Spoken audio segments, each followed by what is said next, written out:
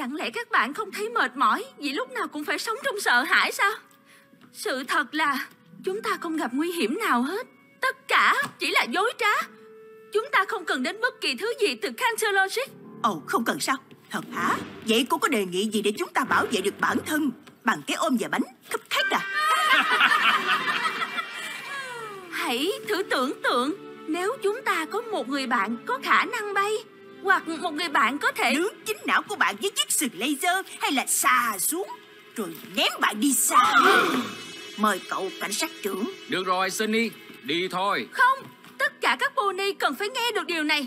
Tất cả những điều các bạn biết về loài thiên mã và cả loài kỳ lân đều sai hết.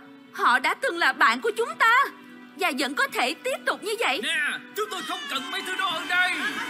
Được rồi đi thôi. Kết thúc rồi. Sunny đang tự đeo xấu mình Chúng tôi thôi. cần nhỏ xin đừng bận tâm. Giờ thì tiếp tục thôi